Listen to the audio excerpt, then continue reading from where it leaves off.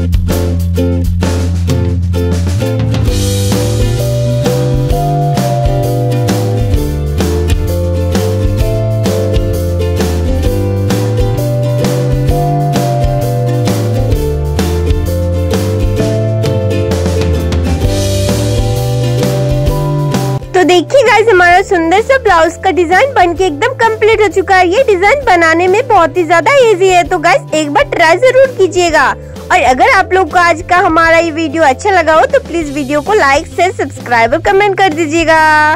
तो मिलते हैं किसी नेक्स्ट वीडियो में। तब तक के लिए जय हिंद और राम राम।